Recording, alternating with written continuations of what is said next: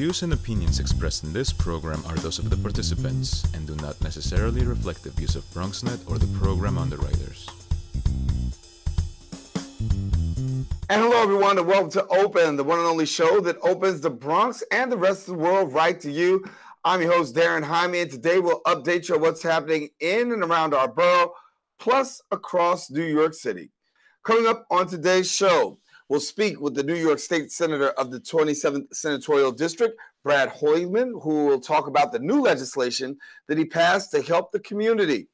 Also, we'll sit down with attorney and host of today's verdict, David Lesch. He'll talk about how nursing homes have responded to COVID 19 and the rights of the individuals and their families. Plus, WFUV sits in with their not for profit organization that's actually using pizza to raise money. We'll learn more details a little later on in the show. And then later, we'll learn about an organization that's striving to prefer, improve the quality of life for special needs families and how they're helping families also during COVID 19. And then finally, small businesses across the five boroughs have been affected by COVID 19. We'll learn how Denny Mo's Superstar Barbershop is dealing during this pandemic. So stay tuned because all this and much more is heading your way because right now we're officially open.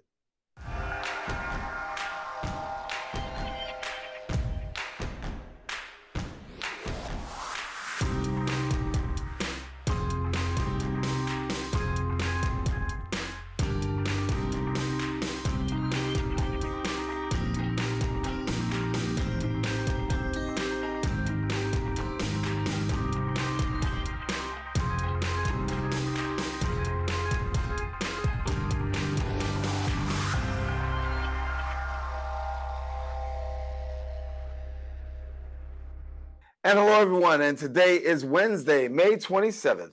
I'm Daren Jaime, and you're watching Open, a live program that brings the Bronx and New York City straight to your TV sets. We also want to welcome our viewers on Manhattan Neighborhood Network, as Open is being broadcast live simultaneously on MNN's channel. And then we also want to encourage you to stay connected to us on all of our social media platforms. How do you do that? Well, all you've got to do is go to BronxNet TV. Well, a lot has certainly been going on through this past week. We'll take you through some of these things with our Bronx updates.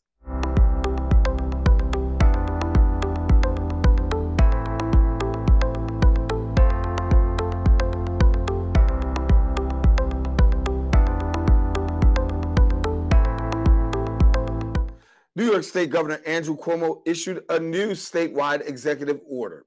The order now allows any gathering of up to 10 people as long as social distancing guidelines are followed.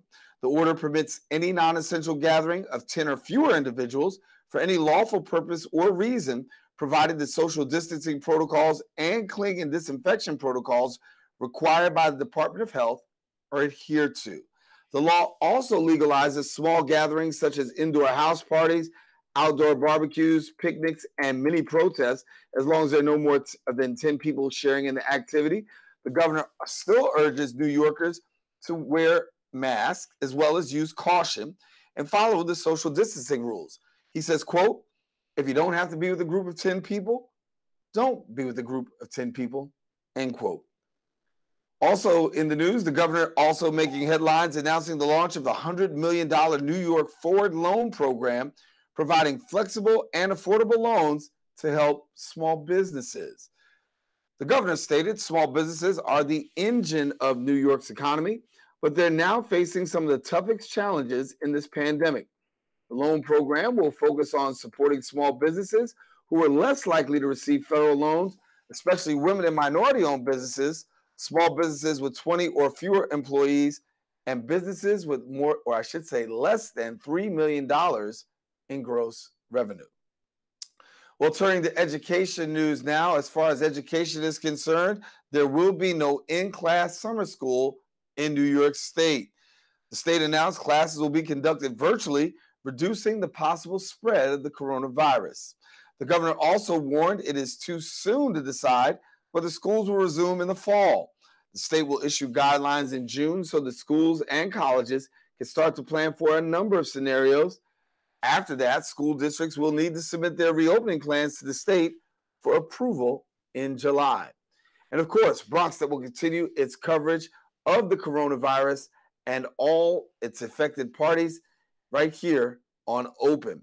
Well, that's all we have for our Bronx update. Stay with us. We do have more Open coming up right after this.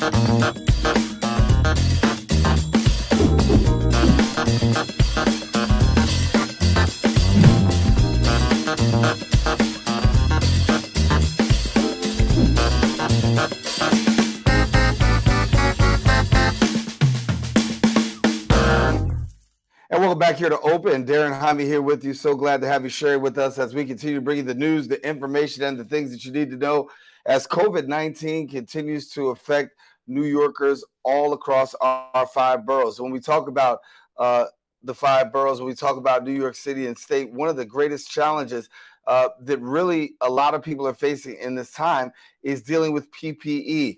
Our next guest, front and center, boots on the ground in dealing with that and also making sure that the residents of his community are well represented. We are pleased to have Brad Hoylman, who's the New York State Senator of the 27th District. And Senator, good to have you. Nice to see you, Daren. And thank you, and thanks so much for hanging with us. Listen, um, talk to us first of all, and give us a little bit of an overview about how your district is doing amidst all that's going on. Well, I think, um, like every borough, uh, we've been hit really hard uh, but not as hard as, frankly, the Bronx or uh, or Queens or or, or Brooklyn. Um, I think that what we're seeing, though, in my district is mass unemployment and a real lack of housing security because tenants are unable to make their rent, whether they're commercial or residential. So we're seeing in Manhattan, after we had the initial wave of infections, a real economic stressful time for many of my constituents. Yeah, yeah. And I, I, know it's a real stressful time. I know restaurants are actually doing some things to try to take the stress off of uh, some of the workers who are essential during this time, particularly for takeout and delivery. Uh, your thoughts?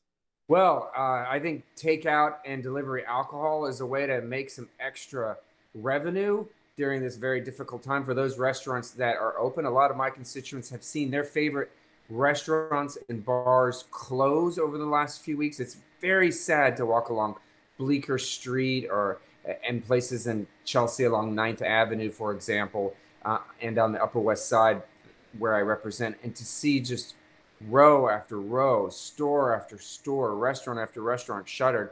So I've introduced legislation that would allow restaurants to continue their takeout and delivery alcohol scheme for two years after the pandemic is over. I hope we can get some traction on that bill. It would involve community board and municipal input, but I think it would really, Daren, extend a very essential lifeline out to these small businesses during this incredibly different, difficult time. We want to see these restaurants come back. They employ a lot of people. They are the mainstay of many of our blocks here uh, in Manhattan, and uh, they're like they're like old friends who, who you want to see back as soon as possible. Yeah, and give us a little bit because you you have you're, you're asking uh, legislation to amend uh, Section 593 of the labor law, and uh, that would make sure that no New Yorkers disqualified from receiving uh, unemployment insurance for taking health precautions during COVID 19 uh, pandemic. So share with us a little bit about that.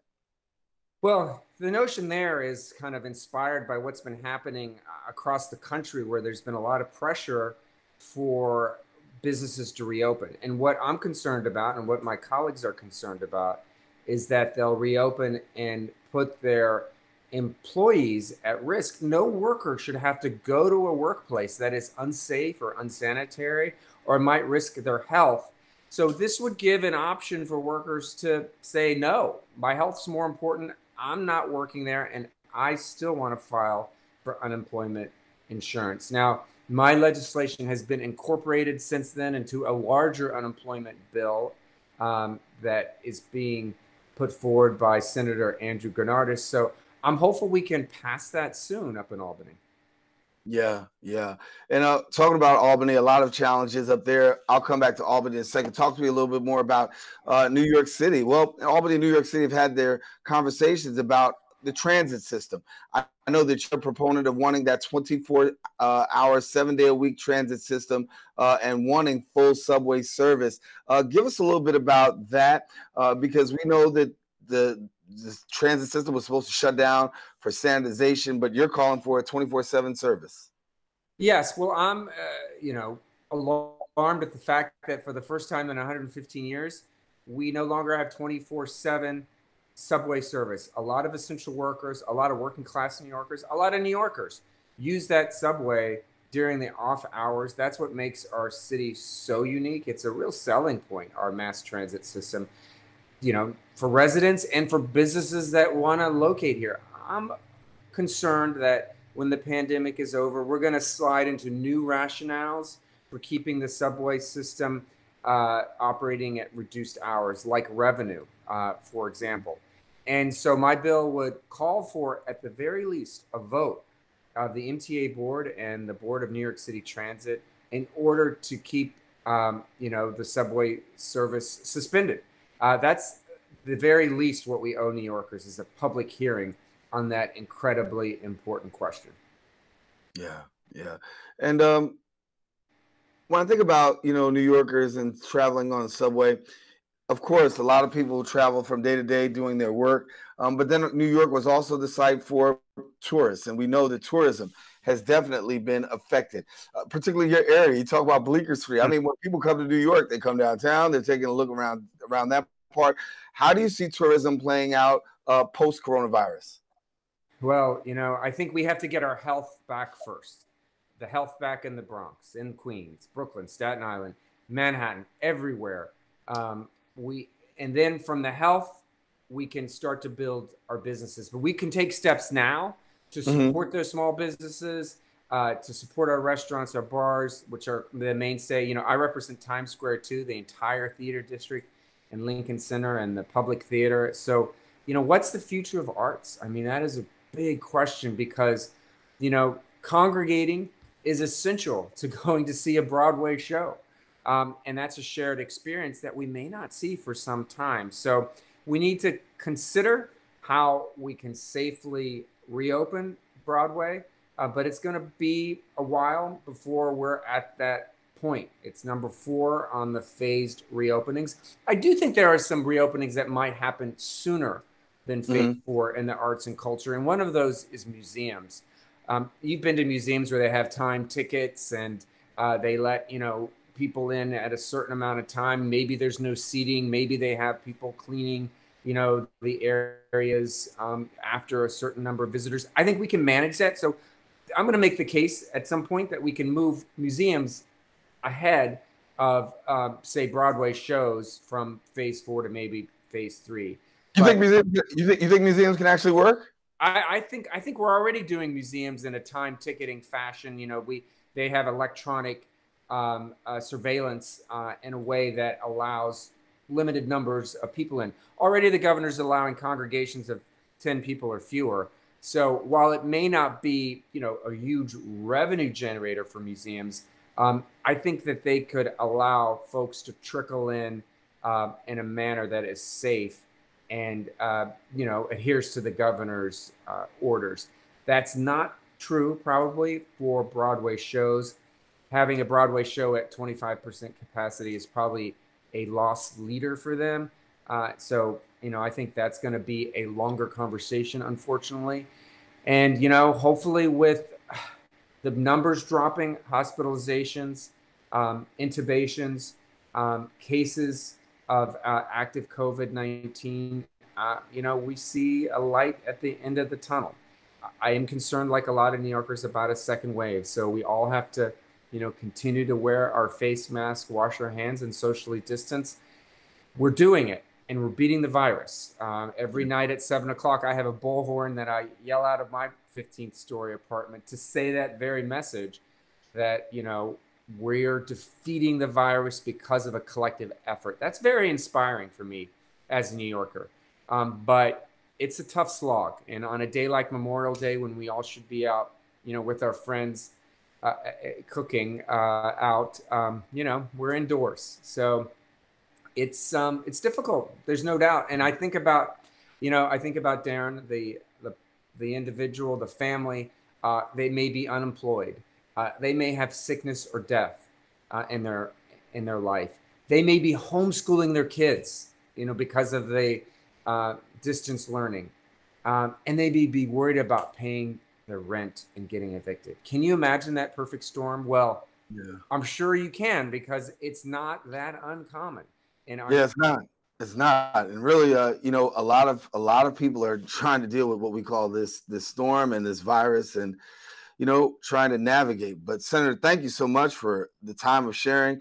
I think that uh, for a lot of us here, uh, we all share the same concern, uh, progression, and also caution. Thanks a lot for being with us here on Open.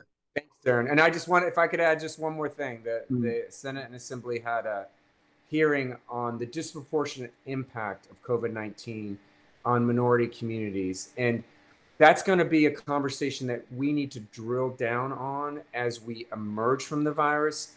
What are the systemic racial inequalities that have led to COVID 19 having this devastating, devastating impact uh, on Black and Brown people? I, am as the Judiciary Committee Chair, it's something I'm going to be focused on with my colleagues, my Senate colleagues in particular from the Bronx have you back on the show and we'll talk more about it. Senator Hoylman, thank you so much. Thanks for having me. Thanks a lot. All right, listen, we want you to stay with us. We do have more open coming up. We'll be right back right after this. It looks bleak. It feels bleak. But the city isn't shut down because our public services keep working, in spite of and in the face of the dangers we can count on them. And to keep them working and funded now and in the future, we need to be counted. Self respond now to the 2020 census at my2020census.gov.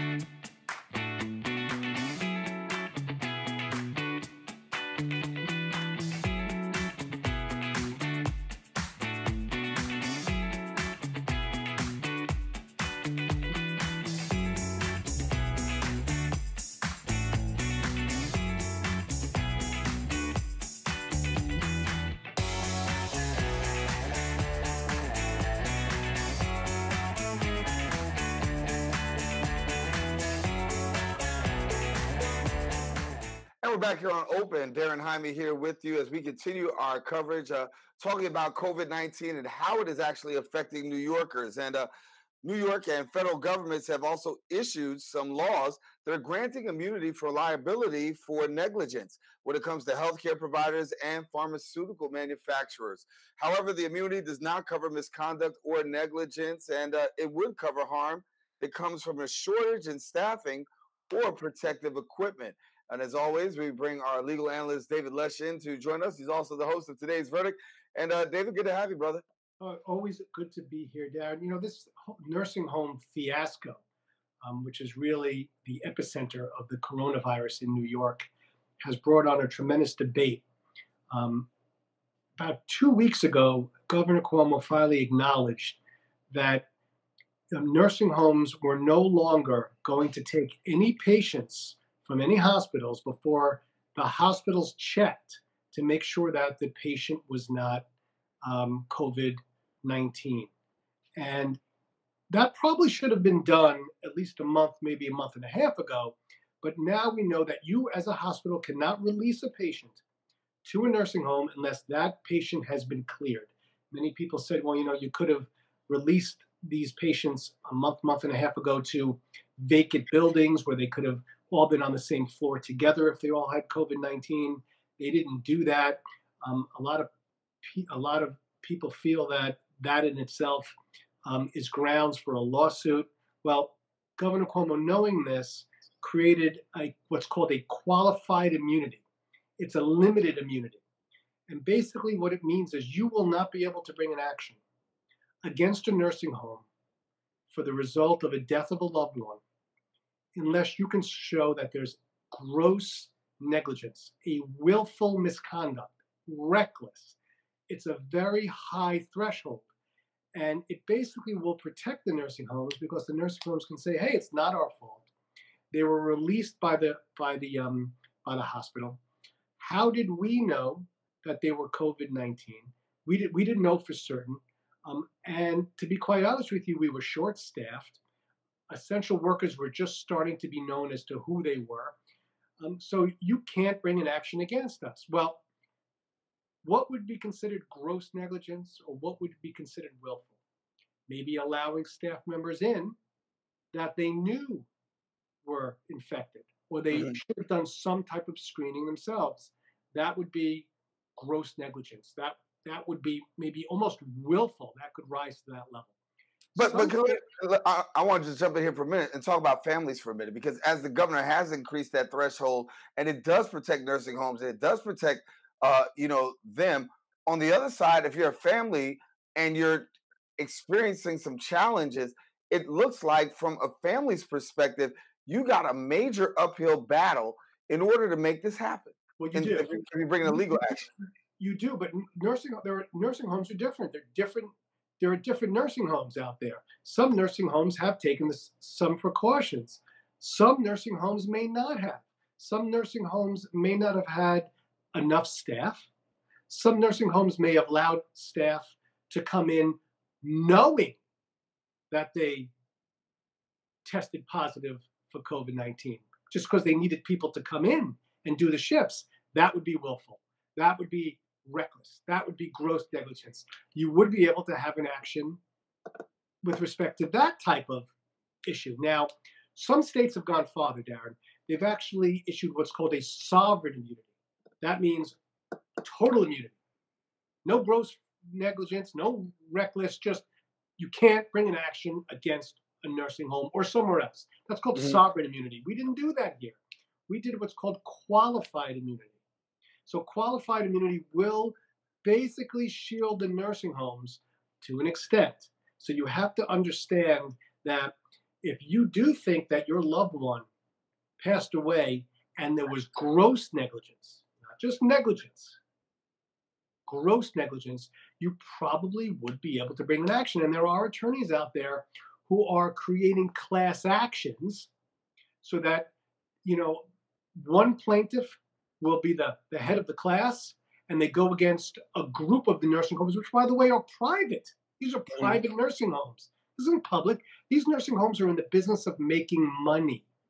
So it's very, very important that you understand what your rights are when it comes to this. And it's all unfolding. And you're going to have a time to do this because the statute of limitations will still be three years. But it, you definitely want to get as much, as many records as you can get and patient mm files as you can to protect yourself, which leads me, by the way, to an interesting interview that I just recently did for the Gothamist. Yeah, let me let me, let me, jump, let me jump in because I wanted let me let me lead in. And how about that one? Uh, but I do want to talk about that. I because as David's getting ready to talk about uh, an interview that you did talking about basically another lawsuit that deals with false imprisonment, right? Uh, That's right. Under quarantine. And and that and it, it, it's related to the nursing home issue because it, it goes to whether or not you would be able to bring an action. What's the threshold for a, a set of facts? And this, these facts are different. What if there's contact tracing? They find out for certain that you are COVID 19 positive and now the city, the state says you must stay in. You have to be quarantined, and they don't let you out. And that happens in certain places. You could be in a certain halfway home. You could be in, um, You, you could be in a homeless shelter. You could be in a place where they said you're not allowed to leave. Literally can't leave. Now, now that the time is up, the 14 days, and you want to bring an action for false imprisonment. Your mental state has, has been horrendous during the 14 days. It's contributed to a psychiatric condition. You've been falsely imprisoned, just as if you're falsely arrested and in prison mm. for 14 days. You're in prison. Well, here's the thing. Yes, the law seems to suggest that you can, again, if it's reckless and willful. Well, what does that mean? Well, let's say your particular group, your ethnicity, your religion has been targeted. Only the Orthodox, you know, only the African American community, only Latino community. They've been targeted so that that they, you're the your group has been forced to stay in if you've been tested positive. We see you at religious um, functions in Brooklyn. Therefore, we're going to find out where you are and we're going to quarantine you. Just you, just the Orthodox Jews, just this this particular group in Harlem, or just someplace else. That would be willful. That would be reckless. You would be able to bring an action there. So I think we could see that in the future. I, I and that's what that's what the Gothamist really was asking me questions about. They weighed in with a with a professor from Fordham as well, constitutional law. It's this is an interesting time. Many many of our governments are trying to shield themselves from potential lawsuits, and they are coming, Daren. I mean, we have a hundred thousand people have died in this country. You can't tell me it's all an accident and all nothing could have been done to have prevented it. Their right. lawsuits will be here for decades. And right. the, question, the question is, what's the threshold that a lawyer has to has to meet to be well, let me, yeah, and, and, let me ask this question: When you talk about a lawsuit, right? We understand that if a lawsuit is brought against the state, obviously the state has to pay that lawsuit. Insurance company is going to pay that lawsuit. We know that the state is already broke as it is. We've been mm-hmm. hearing that from time and time again. So, is increasing the threshold, making these higher thresholds, a way of not just protecting nursing homes, but actually a way of protecting the state, because that's what a lot of people feel like. The state is going to do everything that it has to do in order to protect itself from making sure that they're not paying out anymore because they spend a lot of money on ventilators, much needed. But how much more can one state be able to handle? And those lawsuits would just cripple. That's right. Well, that's true. And that's the other side of it. And that's why they're saying you can sue only if it's gross gross negligence, really reckless and willful behavior. Just negligence? No. You know, you, you didn't you didn't buy enough ventilators. You, you didn't realize it. It wasn't. It was it was really more negligent because you thought the shipment was coming from one place, but it came from the other place. But you made it the effort to get the ventilators in. Well, wouldn't that just be negligent? It's negligent. You you should have realized it, but it wasn't willful. It wasn't. I don't care. We have enough ventilators. What you know? What they'll share what they have you know what? They'll make use of it. One ventilator for three people. We'll make it work. Mm-hmm. That would be willful. That wouldn't be negligence. But you're right. It comes from taxpayer money if it's the city or the state. We don't want to waste that money. We need that money for so many other things. Private insurance companies, well, you know, that's what you insure, you know, institutions for, uh, private nursing homes for, for their negligence. But will they cover them for gross negligence, willful, reckless? Maybe not. So there may not mm. even be money there to cover them to begin with. I don't take right. in my office where a lot, many times I don't take cases where insurance isn't there because it's very difficult to actually get the money in the pockets of my client. Mm-hmm. So yeah, a lot, a lot to think about. Listen, I got less than a minute, but I want to ask you this question. Talk about court systems. What are we hearing in terms of opening back up? I know that you know you've got a you've got an administrative judge that's actually handling business on a day to day fashion. What that's are we right. hearing by way of courts? You know, it's funny. I started with you you know, when we first went into lockdown, I remember you in my first interview that I did, and I told you we were doing remote at home. Well, since that time, we've been doing a lot of virtual depositions. I even many, you know, um, summary jury trials we've been doing. I've had virtual conferences all day long, and it looks like, from what I hear, somewhere around June 15th, judges will be reporting back to their courthouses where they will actually be mandated to, to actually be there, not just some judges who are doing conferences. So it looks like June 15th, things are starting again, Daren, but that doesn't mean we're going to get 100 lawyers in the courtroom anymore. They're right. going to be spacing things out. This is freely flowing. You know, up in you know where you are up in or in, in different places upstate. It's like the test model, and we're going to see how it goes. And then from there, Bronx County is going to take a look at it, and we're going to start implementing in the next couple of weeks. That's that's the word on the street. Well, that's well, we got we got to leave it with the word on the street. We got the word from David Lesch as well, right. uh, our buddy, uh, host of today's verdict, and also our legal analyst analyst here on uh, Open. David, thank you so much for being with us. All right, it's my pleasure as always, Daren. You stay safe. Hey, you stay safe too, buddy. All right, listen, everybody, stay tuned. We still have more show here on Open. Don't go anywhere. We're coming right back right after this. Why should young people care about the spread of coronavirus? Well, we know that people with underlying medical conditions over the age of 60 are at highest risk, but they've got to get it from somebody. So we're asking everyone to be selfless for others so that we can protect those who are most susceptible. Not going to bars, not going to restaurants. It all just means physical separation so that you have a space between you and others. For more information on how you can social distance, please go to coronavirus.gov. When taking public transportation, don't touch your phone. Carry hand sanitizer and use it immediately upon leaving the bus or train. Avoid touching your face. If someone is coughing or sneezing, move away. Wash your hands with soap and water as soon as possible. Limit contact with poles. If possible, avoid rush hour. Don't eat or drink on public transportation. Keep your bag off the floor or other surfaces. Avoid directly touching turnstiles. Stay up to date with the latest from your local health department and CDC.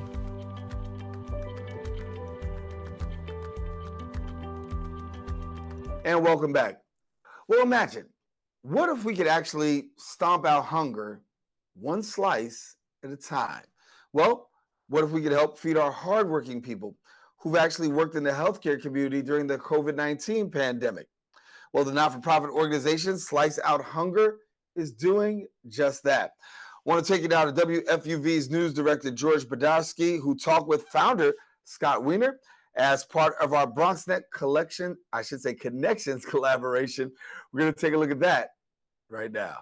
I'm George Bodarky. I'm the news director of WFUV. That's the NPR affiliate station based on the Rose Hill campus Fordham University in the Bronx. I'm coming to you as part of our collaboration with BronxNet called Bronx Connections. Now, what if we could stomp out hunger one slice of pizza at a time?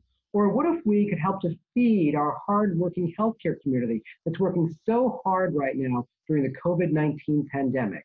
Well, enter Scott Wiener and the founder of an organization called Slice Out Hunger. Scott, thanks so much for joining us. Yeah, thanks so much for having me. So, what is Slice Out Hunger?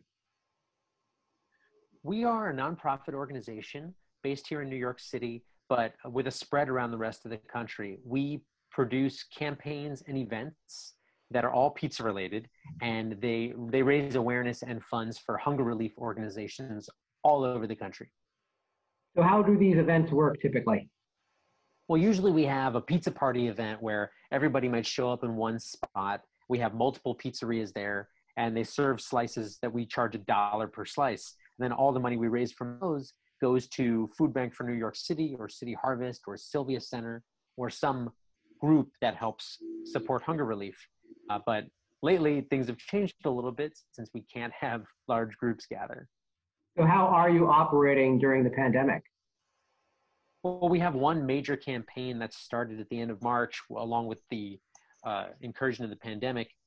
It's called Pizza versus Pandemic. It's basically a funds drive that we use the funding that we take in on our website to buy pizza from independent pizzerias to be sent to hospitals all across the country. So on our website, there's a donation platform. There's also a hospital recommendation platform. So you can write in the name of a hospital. We then take that, verify it as a source, and then we send them pizza. As long as we have funds in the bank, that's what we do. How has that campaign been going?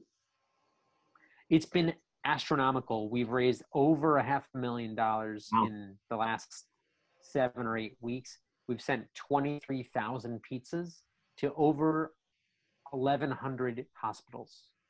Wow, that's quite the impact. Yeah, it's been really huge. It, you know, in the years that we've been operating, we've done great things here and there, but nothing has been such a big, fast moving uh, campaign as this. And I think it's because everybody's so concerned. You want to do something to help, but the best thing we can do for the rest of the country is to stay home. So, how can you help from home? You can make a donation, you can volunteer for us and make phone calls to hospitals. I mean, there's tons of ways to help. We've all seen that uh, fundraising has been has been really positive over the past few weeks. So many great organizations have been able to do serious work, and it's extremely necessary work. And because so many people have been hit by this, we're all hit by it. So, sending a donation and sending a couple of pizzas to a hospital uh, really makes uh, the hospitals feel great. It's good business for the pizzerias, and it also helps us feel like we're doing something and not just sitting at home on the couch. Now, I understand that pizza sales have actually been going through the roof during the pandemic. It's one of the most ordered foods for takeout and delivery. Yeah, when we started this, uh, pizzerias were really hit hard, and they were a lot of them were closed, and it was in that first week or so when people were just closed. And then, of course, it's taken off because it's such an easily delivered food. Uh, you're cooking it in a really hot oven, so there's not so much of a of a problem there with something like raw foods or uncooked foods. So it's been really interesting to see in situations like this, pizza usually is the standby. It's a comfort food. It's a delivery food. You certainly can't stop pizza when it comes to a situation like this. Now, you, sir, are all about pizza. You are also the owner of a great tour company here in New York City, Scott's Pizza Tours. Yep. pizza is my entire life, that's for sure. What is it about pizza that you love so much? You know, it's just it's the it's the thing that you can't help but love. Like you might feel indifferent about food, but when it comes to pizza, everybody's got an opinion. And and it's because you grow up with it. There's an emotional attachment to it. It's probably the first thing that I know I use my own money to buy uh, first food I ever bought for myself. And so pizza's just it's it's always there for you. It's a it's fun. It's positive. What's not to love? And tell us about your tours. Yeah, the tours are really fun. We go uh, usually when we can be there in person. We take people into pizzerias, into the kitchens, teach them about the ovens, cheese selection, tomato preparation. It's really deep and in depth and uh, and historically driven. There's a lot of history that we talk about. And now that we're in a physical distant arena we've been doing tons of great online pizza making classes and pizza history classes and uh, we've got a great sort of virtual tour that we call new york city in eight slices. It's really fun. We take people through all the boroughs and explain what pizzerias are really important and uh, how there's a lot you can do even from home. I'm sure it might be difficult for you to answer this question but what is your favorite pizza place? Oof, that is that is the question, isn't it? I don't have a single personal favorite, but lately I've been dreaming of getting back to Joe's and uh, Lindistry and Scarr's and Patsy's. I mean, Louie and Ernie's in the Bronx, Pugsley's in the Bronx. I mean, I have so many favorites. Danny's in Queens, uh, Luigi's in Park Slope, Joe and Pat's in Staten Island, Rubirosa in Manhattan. I mean, like I haven't been in pizzerias in eight weeks. This is the longest I've ever gone without being in a pizzeria by far. I was going to ask you about pizza in the Bronx, and you named a couple there, including Pugsley's, which is right in my backyard at Fordham University. I love Sal and Pina and Pete so much, and the fact that I haven't seen them in this long, it's really, it's really sad. But yeah, Pugsley's, oh, so good. And Louie and Ernie's, and then there's uh, what's it called? Tommy's. There's uh, so many good places in the Bronx. Come on. How long ago did you found Slice Out Hunger? Slice Out Hunger unofficially launched in 2009, and then we became a 501c3 in 2015. And the website, once again? sliceouthunger.org, or if you want to go directly to this campaign, it's pandemic.pizza and your website for people who want to check out your virtual tours and then look forward to some real in-person tours. Yeah, you can go to scotttours.com. We actually just launched a brand new website last week So really easy to find our virtual events there. We do pizza making on the weekends and we do a lecture series during the week. So really good stuff happening there. You can have a good time and visually eat pizza while while being at home isolated. Scott, thank you so much for your time. Thank you so much. Really good to see you, George. Thanks, Scott. Appreciate it. And thank you, George and Scott. Of course, we've got more open. We want you to stay with us. More show coming up. We'll be right back in a few.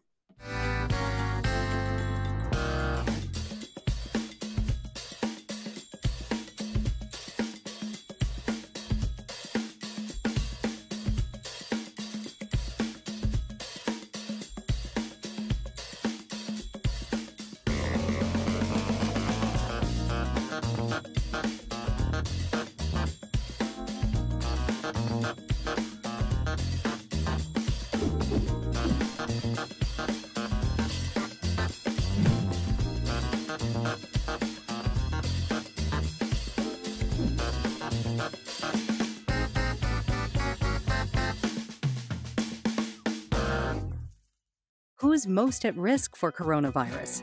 People over 65, people with underlying medical conditions like heart disease, chronic lung disease, asthma, diabetes, people undergoing cancer treatment, and people with weakened immune systems.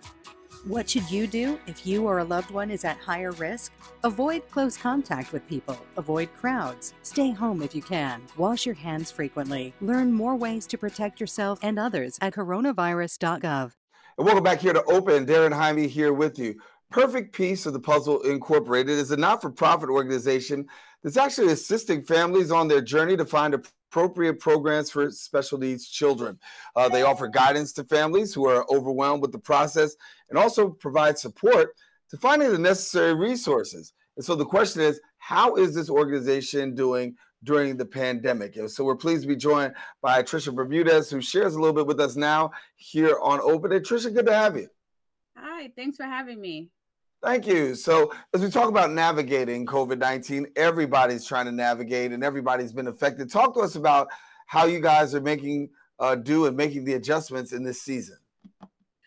Um, kind of being creative right now. Uh, we had a brunch initially planned for the end of, of March, which honors uh, parents of children with disabilities, um, because we tend to put ourselves last and never really giving ourselves time to um, relax. Um, because we're always on, we're always either advocating or taking care of our children or um, figuring out next steps. And uh, so, with that, our kind of plan had to shift a little bit, uh, being that, you know, mid March, everything kind of uh, was on a pause. And uh, we are all on a the adult version of timeout. so for uh for that we had to become a little bit creative because a lot of it became uh frustration for parents not knowing how to move what the future plans were and um the the guidance was was there but didn't really include uh children with disabilities. And um so with that uh, out of my frustration for that i started a podcast. Um and as you can see my my little one um i'm a single mom. So at the end of the day everything becomes uh, a multitask. yes i'm a single mom. Um so I, being frustrated about my own circumstance and knowing that you know this journey is about not being the only one um, going through the same thing uh, i created a podcast uh, initially the podcast was named at home with trisha because again we're all at home and um, right. it was just me and and kind of recapping our first week going through Mommy? um Mommy? remote learning Yes, sir. Coming. Party. um, yes, baby. That's listen. That's what happens when you know we, we're at home. I mean, there's a whole lot of adjustments we have to make, and there's some things that we have to do to really navigate. And we can't abandon what really is. And you know, we, we're navigating our children. We're trying to make it happen. And you know, as you said, you're finding the pieces to the puzzle in your own kind of way. Right, right. I mean, this is really what it is. It's it's kind of shifting and moving as things happen, and and you can't really plan for much of anything.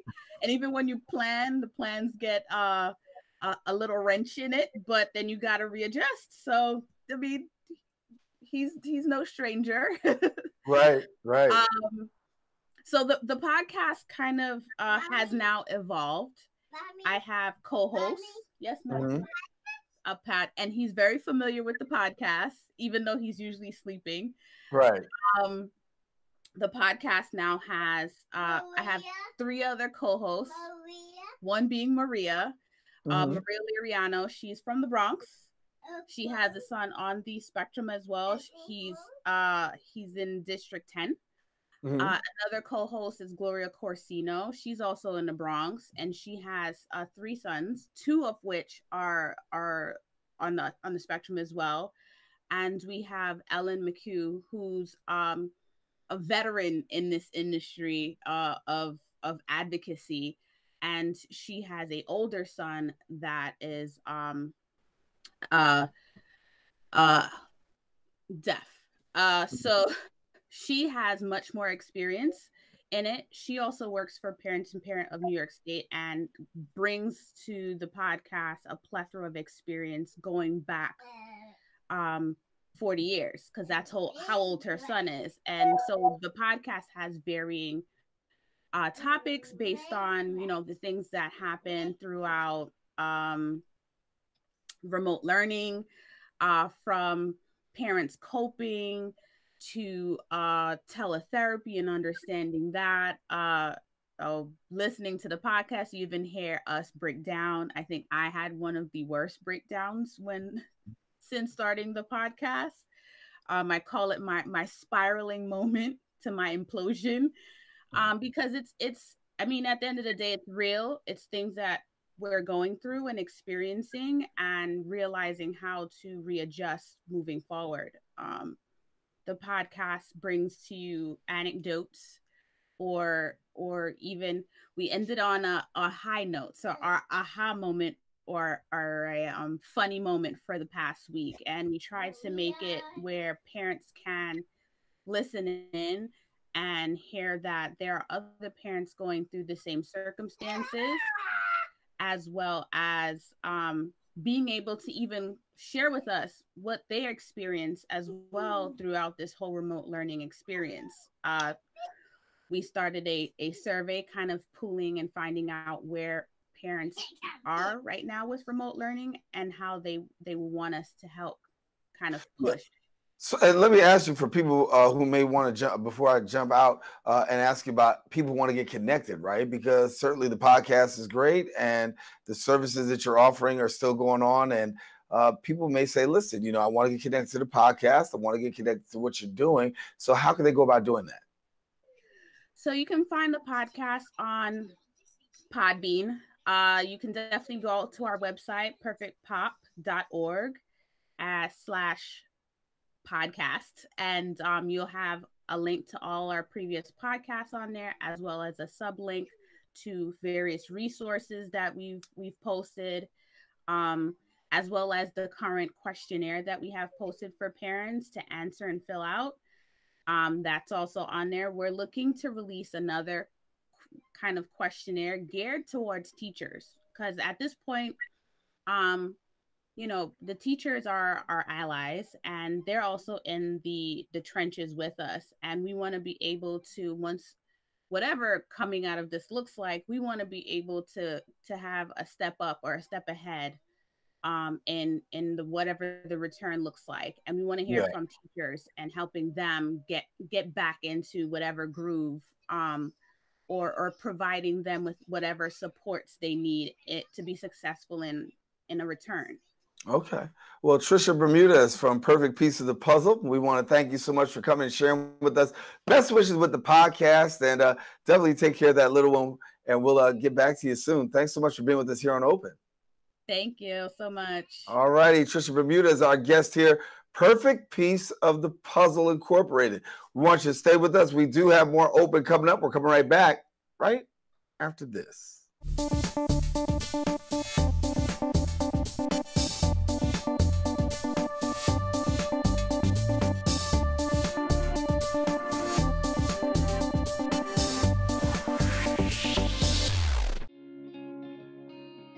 We're coming out of the other side. So, in many ways, from my point of view, we're on the other side of the mountain. You have to be New York tough, smart, united, disciplined, loving.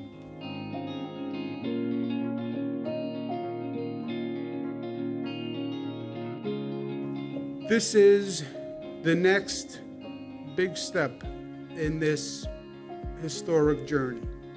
We talk about being New York tough and what tough really means. We changed the trajectory dramatically by what we did. What we have done thus far is really amazing, and that was smart. But we have to stay smart.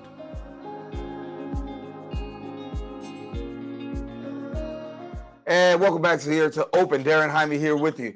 Well, COVID 19 has affected a lot of people across the United States, here particularly in New York, business. And when we talk about business, small businesses being affected. One of those small businesses are actually barbershops. Barbershops have still yet to been phased into uh, the recovery effort of reopening. Uh, they have not yet opened their doors, and yet and still, many are still left to struggle and some even left to close their doors. Joining us now to talk a little bit more about the whole tension of how to reopen and how to stay open is Dennis Mitchell. Dennis Mitchell is the owner of Denny Mo's Superstar Barbershop in Harlem, New York. And uh, Denny Mo, good to have you, brother. Oh man, thanks for having me on. Man. Hey, listen, glad to have you. So when we talk about this now, um, give us a little bit about this. The doors closed for you, uh, and after the doors closed for you, uh, certainly uh, your business got to the place of literally being in jeopardy. Absolutely. Um, the day the doors closed, it was um, it, it didn't hit me right away because simple fact that I figured, okay, something is going to happen. We're going to basically, you know, just open up in a couple of weeks or whatever. And then a month went by, and then two months has gone by, and um, then now you start thinking, wow, what what are we going to do? You know, because um, there's no revenue being brought in, no money whatsoever. You know what I mean? No money being made. So, and the um, you know the, the people still asking for their rent. The Con Ed is still asking for their utility bills. You know what I'm saying? So, I mean, something's got to give. So now you uh, now you now you it's set the, the reality of it sets in, and now you're on the roller coaster. You know what I mean? Yeah. You're on the roller coaster of emotions. You know, I told somebody that the other day, asked me what what part of the roller coaster was I on right now? I told yeah. I'm on the loop de loop right now. you know, because uh, you know it plays it plays um it plays with your emotions a lot, man. And you try to you try to not think about it too much, and then when you're in the middle of you know enjoying yourself, enjoying your family, everybody laughing, smiling, having a good time, and then all of a sudden, boom, it kicks in and takes you all takes you totally away from it. You know what I mean?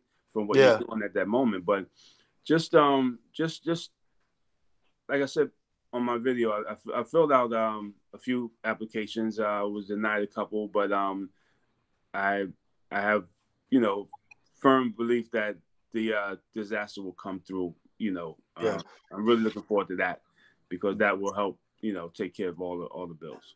Yeah, you're talking about a disaster relief loan, and for our viewers that don't know, uh, you know, in the midst of all your trouble, uh, you actually launched a GoFundMe to actually help uh, you. And for people who don't know, your, your barbershop's located right in the center of Harlem. Uh, and when we talk about those who've been strictly affected or predominantly affected are communities of color by COVID 19, by uh, both mortality and then also chronic diseases. So you got a lot of things that's working against you, but yet and still, that GoFundMe that you actually put up actually began to work for you. Talk to us about that. Absolutely. Uh, yeah. Well, you know, I, I, I, it's something about it's something about it. Whenever I do things, whenever I say I'm going to do certain things, and um, I go for the uh, you know the, the, the deep pocket, which is the government, the state, the city, and um, they they failed me. You know, not just now, but in the, in the, in the past. You know, and when they failed me, I reach out to my community, and I don't know, man. For some reason, they always hold me up. You know what I mean? The community holds me up. You see what the, see what my sweater says? Yeah. You see that? Yes, sir. UCLA. Uh huh. University on the corner of Lenox Avenue. you know what I mean? So, right. So I mean, you know, it's it's just it's just a good thing to. So being a good person and being good in your community, being the friendly neighborhood barber, you know, people people take to you, and and whenever they see you in distress, they come to your aid, you know, and and that's what they've done. They come to my aid.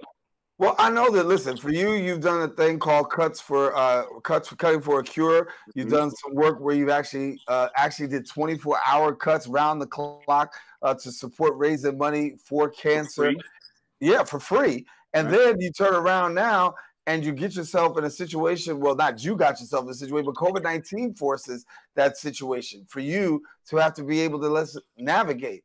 Right. What's it like for you to have the community be able to respond back to you when you've been out there and you've kicked it for the community in so many different ways? Well, you know, it, it's, it's it's it's unbelievable, man, and it's not it's not. Let me rephrase that. It's not unbelievable. It's it's beautiful because um, just when you think no one is paying attention, you know, and something like this happens, and everybody comes out for you, and you say, "Wow, they paid attention." You know what I mean? And I'm grateful for my community, totally grateful. And that's why I do the things that I do with Cutting for a Cure and back to school drives and toy drives and stuff like that, clothing drives, because I know we're needy people. We're in a, we, our, our, community is, um, you know, underserved. And um, I just want to be a part of um, uplifting, you know, the community. And I do that. And in return for me being, you know, uh, vigilant in, in the community, people now uplifting Denny Mo's. Yeah. So yeah. I'm I'm I'm I'm really grateful for that, you know.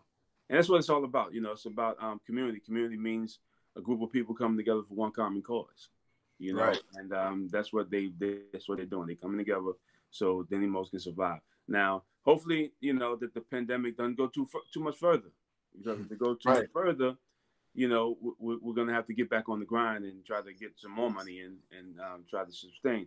Um, I, I'm seeing a lot of businesses that are um, smaller, my size or a little even bigger, that are going out of business, and that's the reality. That's the the gut punch when you drive by and you see that the um, that the uh, gym is gone. Right. treadmills are out of the window. I, I am driving by the, the, gym and I'm saying I can't wait to get back in the gym.